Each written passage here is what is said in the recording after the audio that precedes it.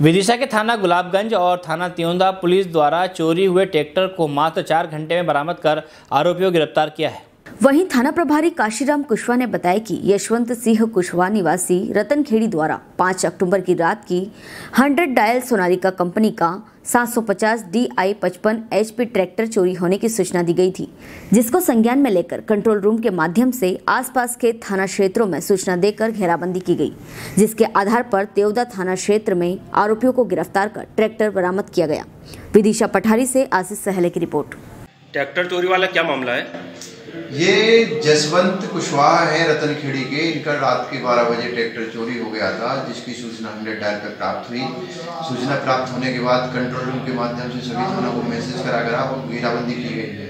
घेराबंदी के आधार पर त्योंदा क्षेत्र में ये ट्रैक्टर पकड़ा गया है। ये यहाँ से दारू के नशे में थे ये लोग तो इनको चोरी करने की सूझी तो इन्हें ट्रैक्टर उठा के ले गए और त्योंदा थाना क्षेत्र में घेराबंदी कर आरोपियों को पकड़ा गया।